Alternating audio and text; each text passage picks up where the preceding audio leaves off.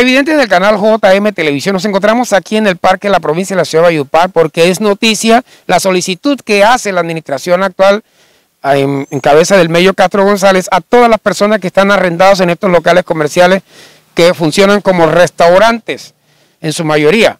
Estos, por el término del vencimiento del contrato que tenían hasta el mes de diciembre, ya se les pidió por parte de la administración municipal que devuelvan estos locales, pero estos pues hacen una prórroga y aún así les van tres meses más, los cuales se vencieron el 30 de marzo. A la fecha, hoy, en mes de abril, aún no quieren entregar estos locales.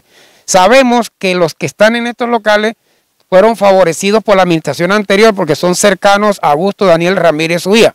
Hoy conocemos que una de las razones por las cuales no quieren entregar es por los costos mínimos que cancelan por arriendo, es decir, 400 mil pesos Parece que la luz también incluye ahí muchos beneficios, por eso ellos no se quieren ir. La administración municipal que reza para este parque de la provincia está en cabeza de Carmen Cecilia Gutiérrez Matos, quien ya le solicitó que devolvieran esto, pero no los han querido entregar.